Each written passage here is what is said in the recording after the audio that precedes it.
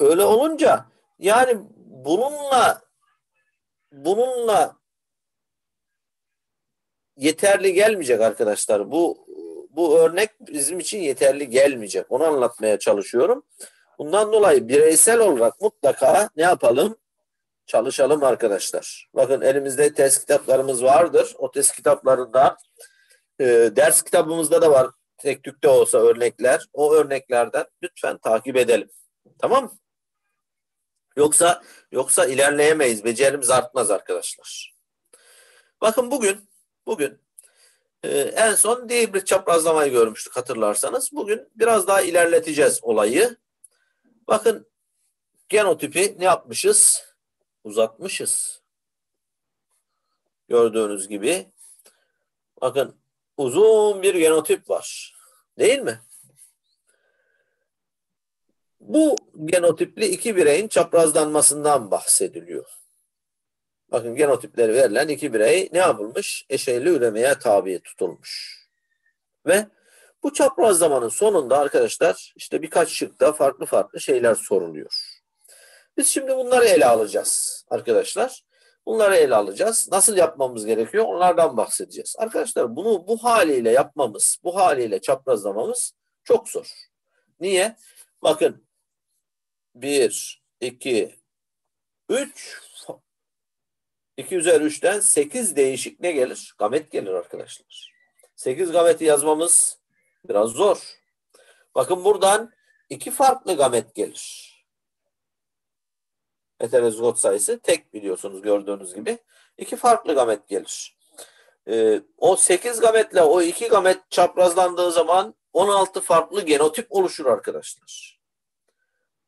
Bunu tablo üzerinde yapmak çok zamanımız alır. Hatta bizi yanlışa götürür. Onun için biz hiç tablo yapmadan hiç tablo yapmadan hepsini çaprazlamadan bizden istenilen şeyleri bulmaya çalışıyoruz. Nasıl buluyoruz arkadaşlar? Temel prensibimiz şu.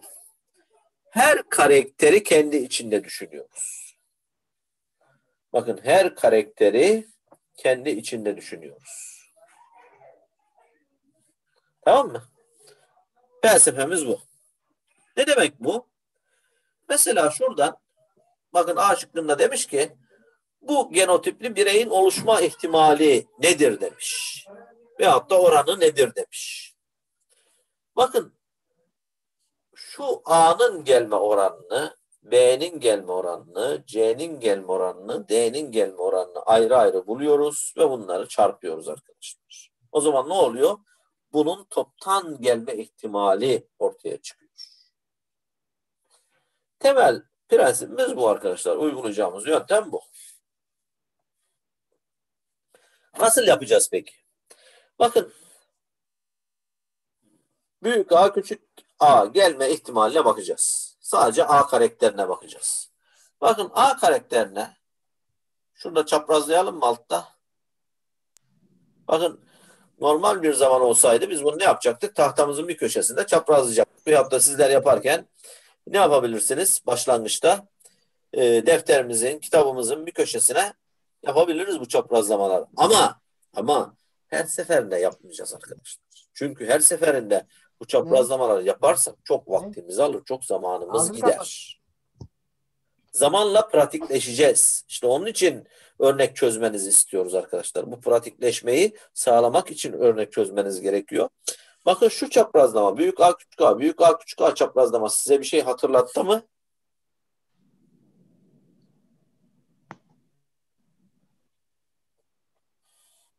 Hatırlatmadım.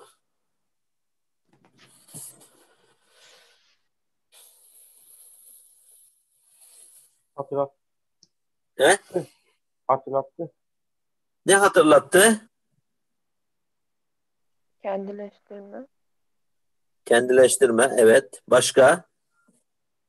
Doğru. Bu, bu bir kendileştirmedir. Aynı genotipteki bireyin çaprazlanması. Başka?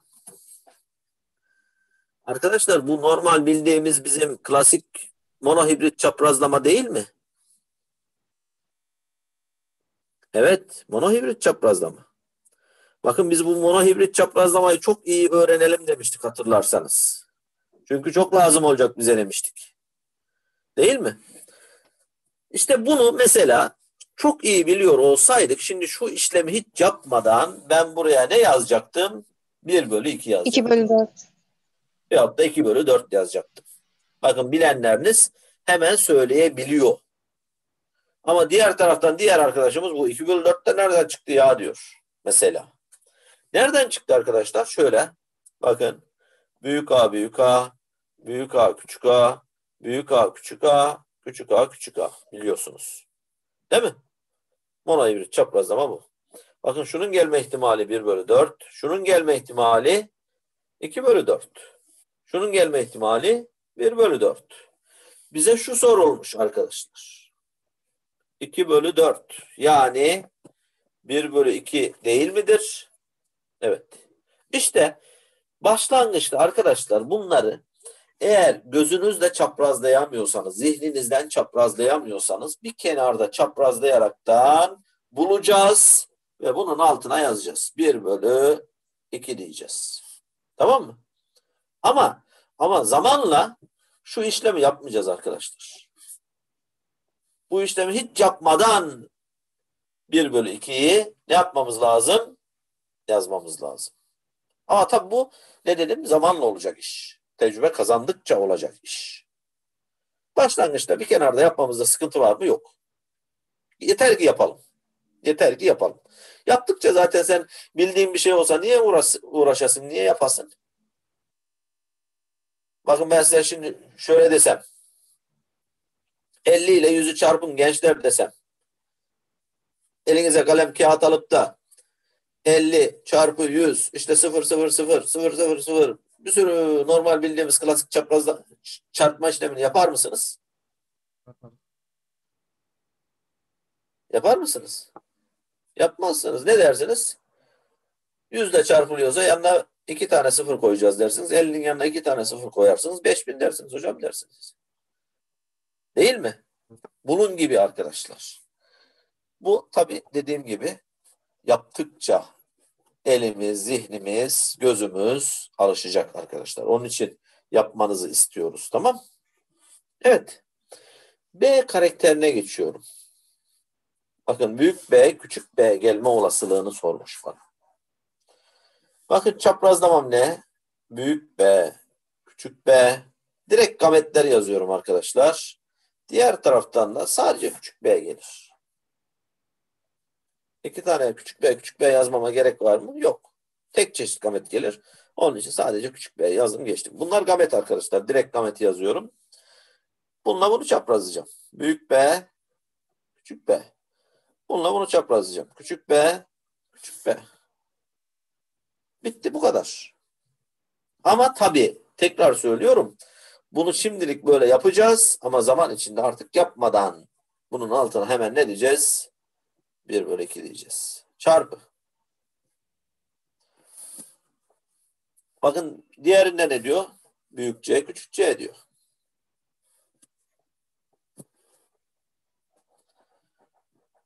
Arkadaşlar şu C'lerin çaprazlanması size bir şey ifade ediyor mu? Hepsi büyükçe, küçükçe çıkmaz mı? Çıkar. Gördük mü biz bunu daha önce? Arkadaşımız diyor ki hepsi böyle olur hocam diyor. Doğru mu? Doğru söylüyor. Gördük mü biz bunu daha önce? Evet. Evet. Gördük. Nerede gördük? Monohibrit. Çaprazlamada hibrit bireyleri elde ederken bunu yapmıştık hatırlarsanız. Ne yapmıştık? İki tane arı döl alıyoruz demiştik. Birisi baskın özellikli, birisi çekinik özellikli. İki tane arı döl alıyoruz demiştik. Ve bu arı dölleri kullanaraktan bakın bu arı döl değil mi? Homozigot. Bu da arı döl, homozigot. Bu arı dölleri kullanaraktan yüzde yüz melez bireyler elde ediyorduk. F1 bireyleri elde ediyorduk hatırlarsanız. İşte bu F1 arkadaşlar. Orada elde ettiğimiz F1. Yüzde yüz melez. Yani bunun gelme ihtimali o zaman ne? Yüzde yüz. Bir. Başka bir ihtimal yok. Evet. D'ye geçiyoruz. Büyük D var. Küçük D var.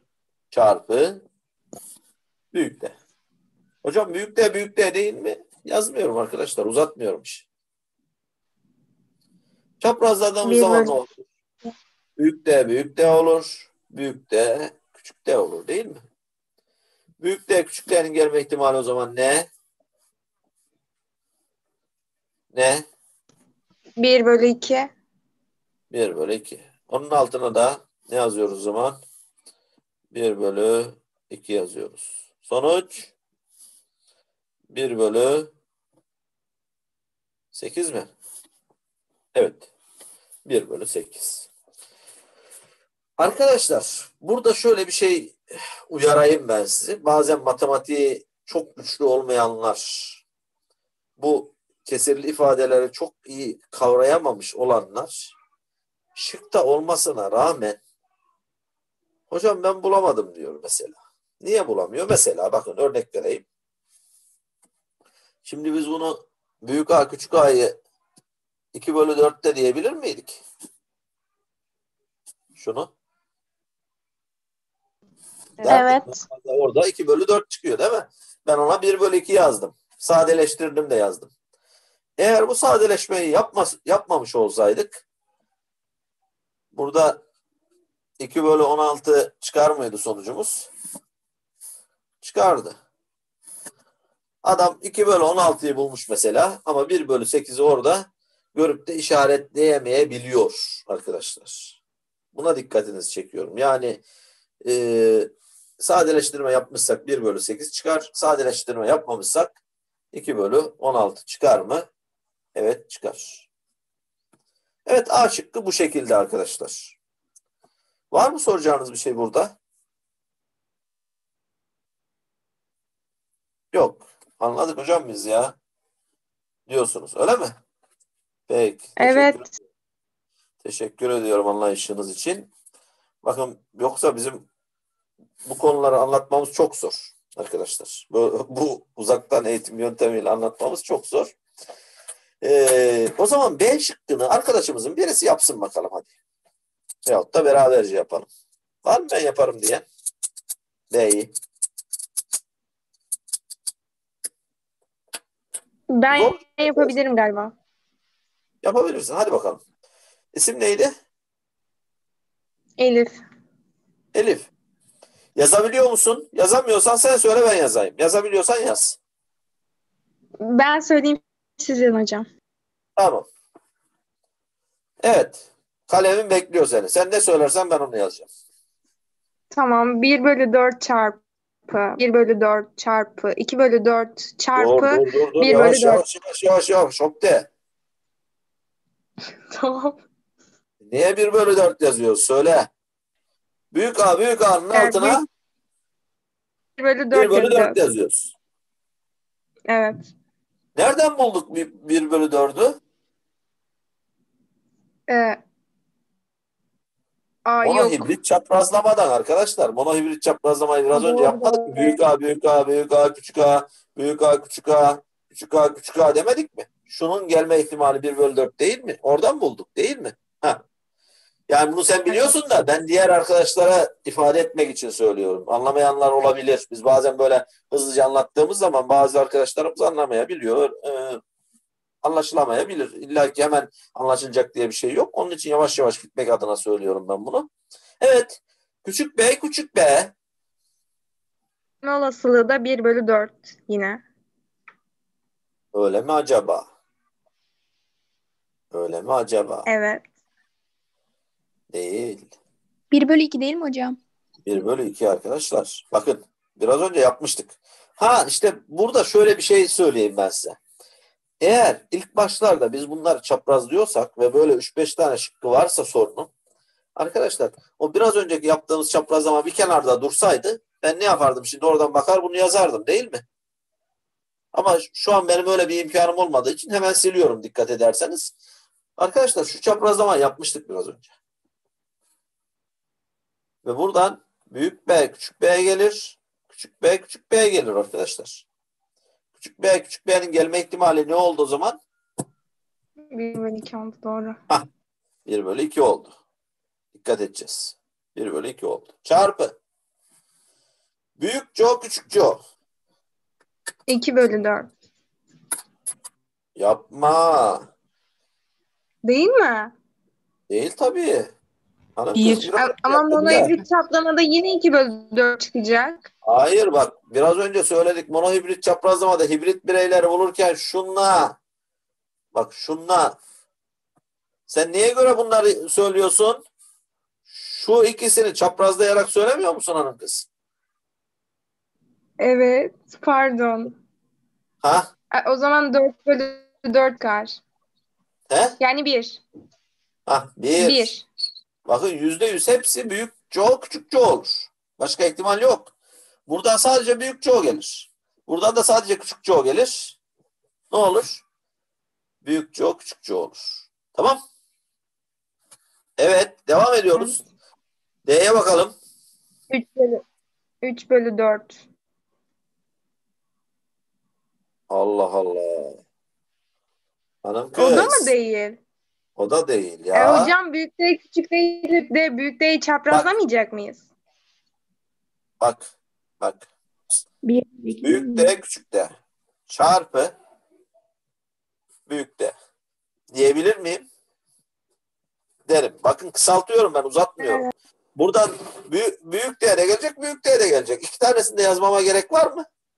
Yok bir tanesini yazıyorum. Ve çaprazladığımız zaman büyük de büyük de büyük de küçük de gelecek. Öyle değil mi? Evet. Büyük de büyük değerin gelme ihtimali o zaman ne oldu? Ne oldu? 1 Ne yazacağım buraya? Hah 1 bölü 2 yazacağım. Sonuç 1 bölü 4 çarpı 1 bölü 2 çarpı 1 bölü 2. Sonuç 1 1 bölü bölü 16. 1 bölü 16 ifadesini ne yapmış oluyoruz? Bulmuş oluyoruz arkadaşlar. Tamam. Anlaşıldı mı olay? Bakın zor değil. Zor değil ama dikkat edeceğiz. Dikkat edeceğiz. Eğer bak tekrar söylüyorum. Zihnimizden yapamıyorsak işlemleri bir kenarda yapacağız arkadaşlar. Bakın sizin önünüzde kağıdınız kaleminiz var mı?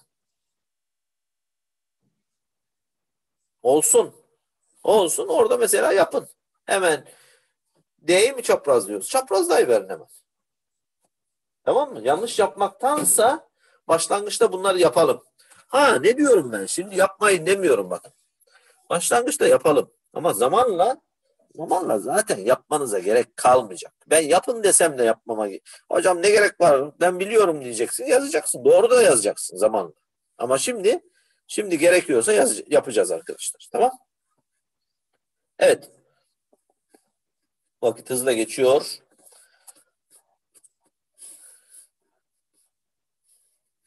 Diğer soruya geçeceğim arkadaşlar. Diğer şıkka geçeceğim. Diğer şıkta ne diyor?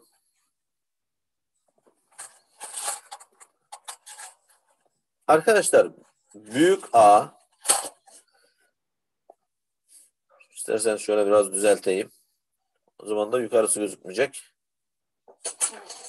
Büyük A, küçük B, büyük C, büyük D fenotipli bireylerin oranı diyor. Bu sefer ne sormuş bize? Fenotip sormuş arkadaşlar. Bunu nasıl yapıyoruz? Arkadaşlar yine aynı çaprazlamalar. Her karakteri kendi içinde düşünüyoruz. Ama sadece fenotipine bakacağız bu sefer. Bakın monohibrit çaprazlama nasıldı? Büyük A, büyük A, büyük A, küçük A, büyük A, küçük A, küçük A, küçük A. Bakın fenotipe bakacağız. Büyük A. Bu baskın mı? Evet. Bu baskın mı? Evet. Bu baskın mı? Evet. Bu çekinik. Bakın oran ne o zaman? Baskın gelme, büyük A olma olasılığı ne o zaman fenotipin? 3 bölü Evet 4. siz söyleyin. Bölü 4. Evet 3 bölü 4 arkadaşlar. Altına yazıyorum. 3 bölü 4. Çarpı. Hemen B'ye geçiyorum. Hemen B'ye geçiyorum. Bakın çaprazladığımız zaman büyük B, küçük B, küçük B, küçük B geliyordu değil mi? Küçük B fenotipinin oluşma ihtimali o zaman ne? 1 bölü 2. Evet 1 bölü 2. Çarpı. Büyük CO fenotipinin oluşma ihtimali ne? 1. 1. Çarpı. Büyük D fenotipinin oluşma ihtimali ne? O da 1. Evet o da 1. Sonuç 3 bölü 8. Değil mi? 3 bölü 8. Evet. Bu şekilde bulduk. Anlaşıldı mı?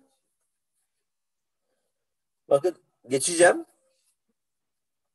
Diğer şıklara geçeceğim. Eğer anlaşıldıysa.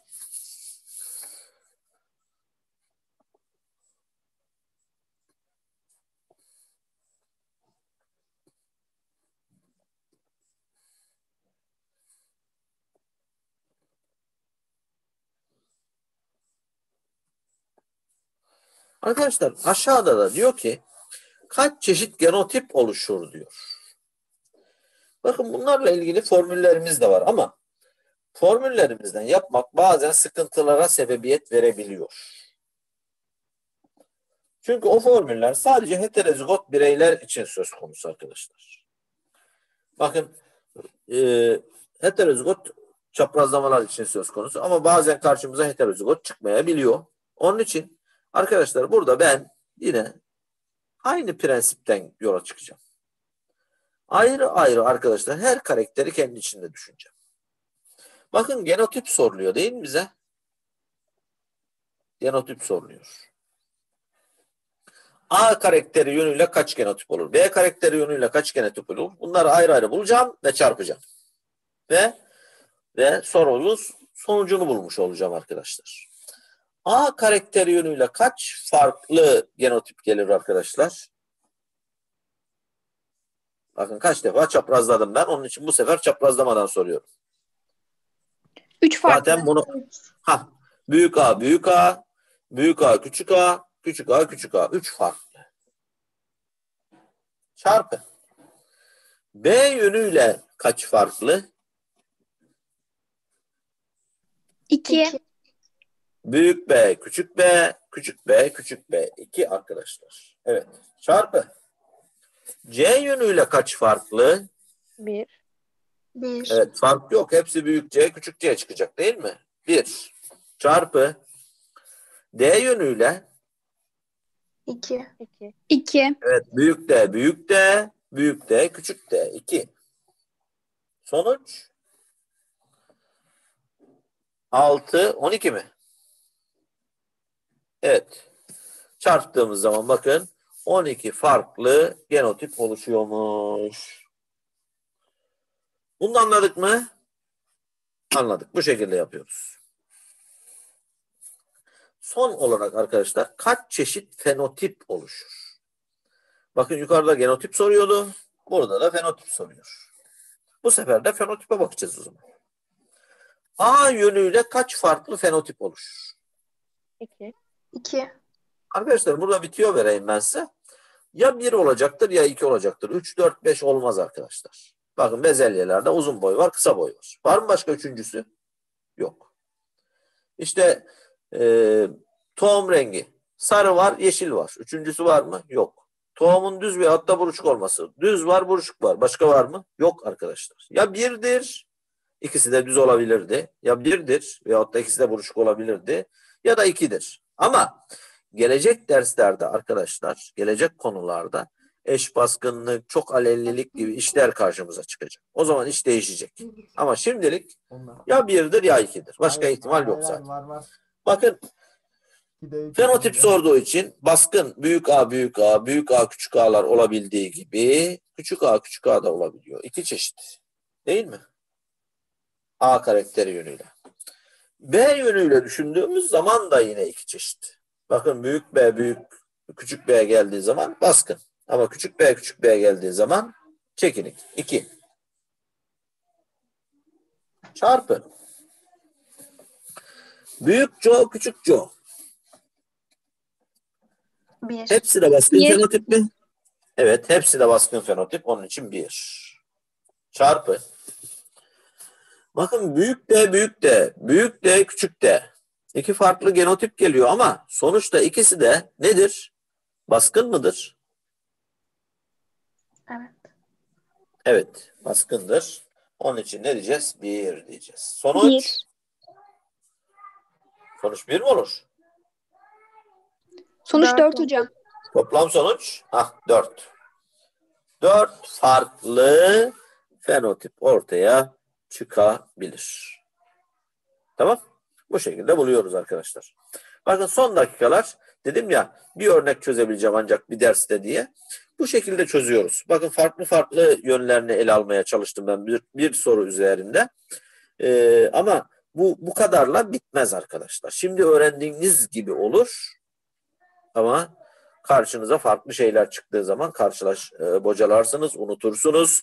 Onun için ne diyorum? Mutlaka pratik yapacağız arkadaşlar. Mutlaka pratik. Ha görmediğimiz konularla ilgili sorular olursa çözmeyin, uğraşmayın. Çözemediklerinizle uğraşmayın. Çözebildiklerinizi çözün. Çözemediklerinize işaret koyun.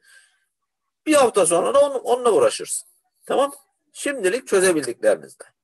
Çünkü karışık olur sorular.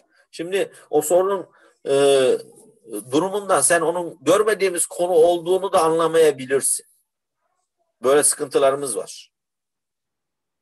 Ha, bariz olanlar var. Mesela kan grubunu hiç görmedik. Kan grubu sorusu gelirse ha ben bunu çözemem dersin. Veyahut da soy ağacı gelirse ben bunu çözemem dersin. Ama e, normal böyle çaprazlamadır ama görmediğimiz konularla ilgili e, şeyler vardır.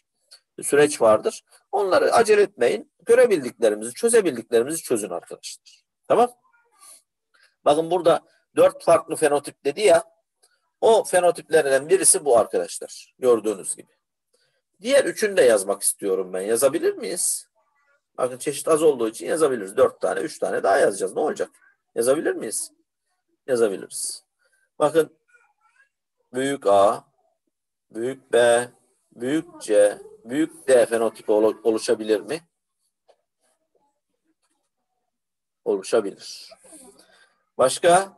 Küçük A, büyük B, büyük C, büyük D fenotip oluşabilir mi? Oluşabilir. Küçük A, küçük B, büyük C, büyük D fenotipi oluşabilir mi? Oluşabilir. Hocam şu da gelebilir mi dediğiniz başka var mı sizin aklınıza gelen?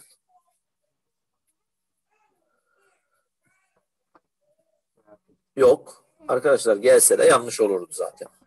Bu şekilde 4 4 çeşit ne oluşur? Fenotip oluşur diyoruz. Tamam? Arkadaşlar lütfen bakın tekrar söylüyorum. Lütfen örnek çözelim. Bakın defalarca söyledim. Tamam? Şimdi siz ayrılmadan önce kaç kişiyiz ona ben bir bakıvereyim. Peki. Arkadaşlar görüşmek üzere diyorum. İyi günler. Hoşçakalın.